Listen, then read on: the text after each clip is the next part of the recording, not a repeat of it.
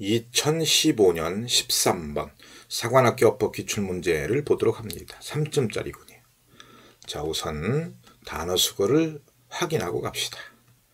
obstacle 뭡니까? 장애물, 방해물 hybrid 잡종, 튀기 power 동사가 되면 몸에 동력을 공급하다. 그 다음에 hood 자동차의 엔진 뚜껑을 얘기하는 거죠. 다음 potential 잠재적인 breakthrough 그러면 아주 획기적인 약진 전진전을 얘기합니다.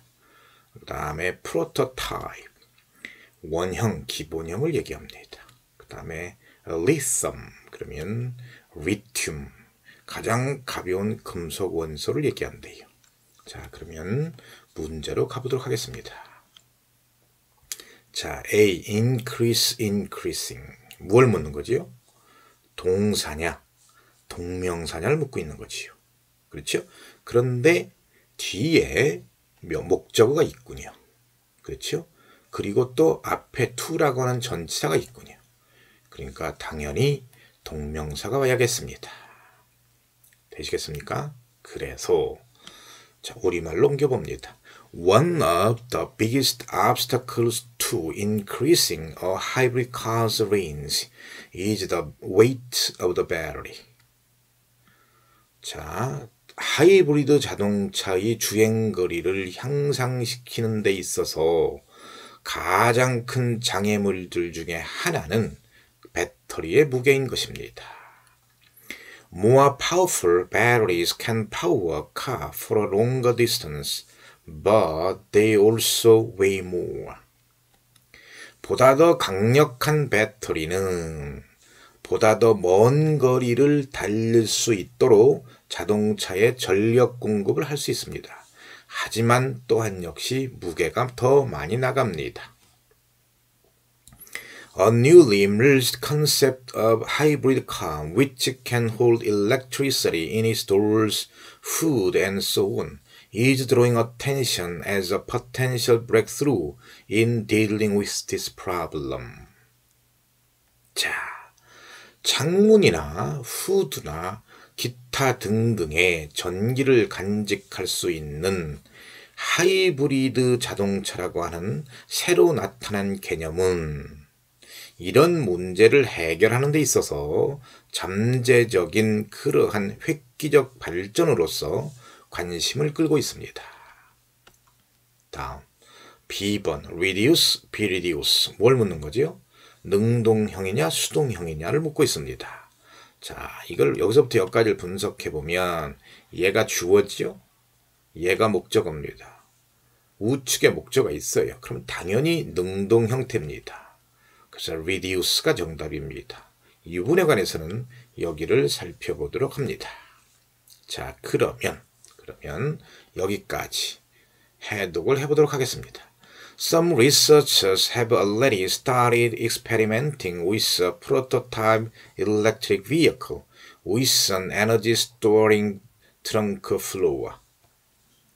자, 일부 연구자들은 이미 이미 그 에너지를 조, 어, 저장하는 트렁크 바닥을 가진 전형적인 전기 자동차를 가지고 실험을 하기 시작했습니다. Whose extra energy storage could reduce the battery's weight by 15%.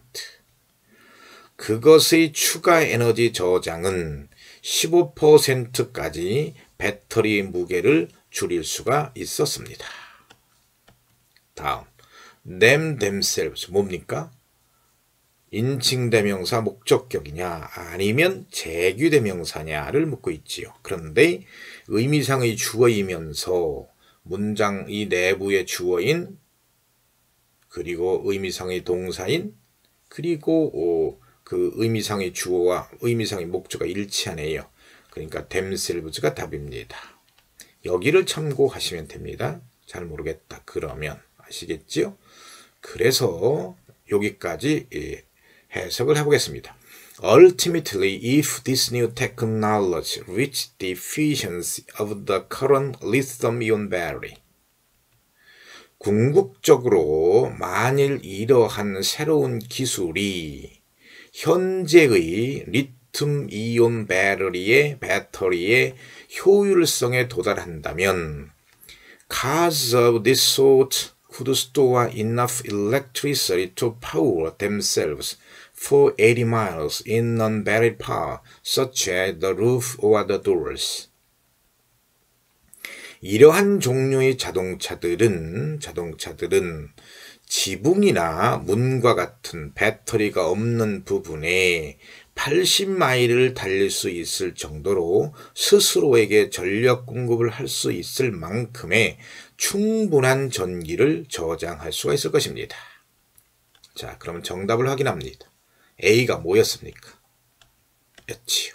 B는 능동형이었습니다. C는 제규대명사였습니다. 그러니까 정답 4번이겠습니다. 자, 그 다음에 이제 마지막으로 이 문제를 풀면서 늘 단어 수건을 확인하고 왔습니다. 자, 보시면 장애, 방해물, obstacle, 잡정 튀기, hybrid, 모모의 동력을 공급하다, power, 자동차의 엔진 뚜껑, hood, 잠재적인 potential, 과학기술 등의 획기적인 약진 진전, breakthrough, 원형 기본형, 프로토타입, 그 다음에 리튬, 리썸이었습니다. 수고해